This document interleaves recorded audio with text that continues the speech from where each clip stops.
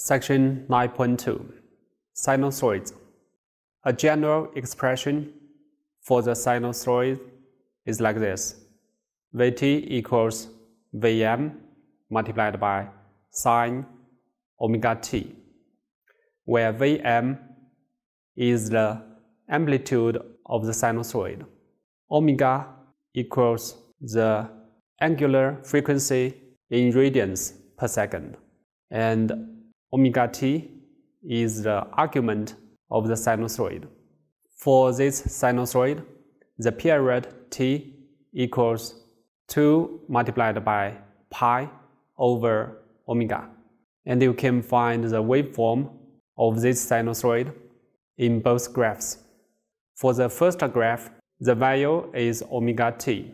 For the second graph, the value is t. But actually, they represent the same value, Vt. Obviously, the sinusoid is a periodic function.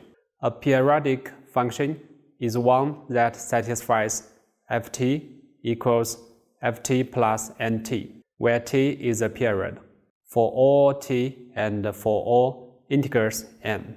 And we can represent using mathematic functions vt plus t equals vm multiplied by sine omega t plus t, where t equals 2 pi.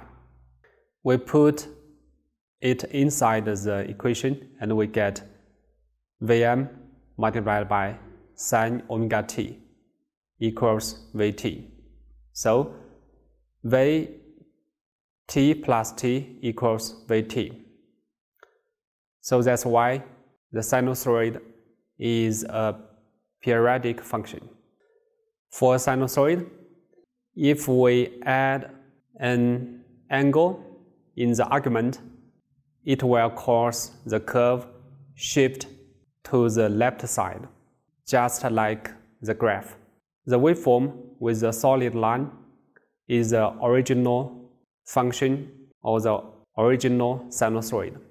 If we add a phi in the argument, and we can get the new sinusoid, which is represented by the dashed line.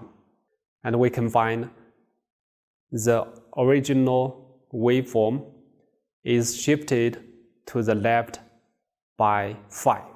Only two sinusoidal values with the same frequency can be compared by their amplitude and phase difference.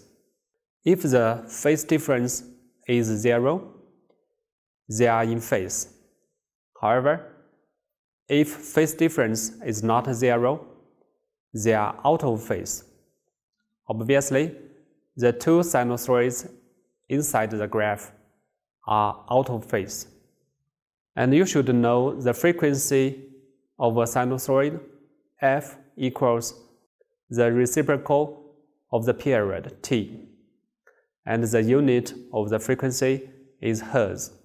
And then we can get another relationship, omega equals 2 pi multiplied by f. Now let's look at this example. Calculate the phase angle between V1 and V2. State which sinusoid is leading. We can solve this problem like this. Finally, you should notice V1 is expressed in cosine. However, V2 is expressed with sine. So, if we want to compare the phase angle difference, we should make sure they are in the same form, sine or cosine. So, we can transform both of the voltage in cosine with positive amplitude. So V1 equals 10 multiplied by cosine plus 50 degree minus 180 degree. So V1 equals 10 multiplied by cosine omega t minus 130 degree or V1 equals 10 multiplied by cosine omega t plus 230 degree. And V2 equals 12 multiplied by sine omega t minus 10 degree equals 12 multiplied by cosine omega t minus 10 degree minus 90 degree. And then we make the phase angle as positive. So we get V2 equals 12 multiplied by cosine omega t minus 130 degree plus 30 degree or V2 equals 12 multiplied by cosine omega t plus 260 degree. So if we compare the phase angle of V2 and V1, we find the phase angle of V2 is greater than V1 by 30 degree. So V2 leads V1 by 30 degree.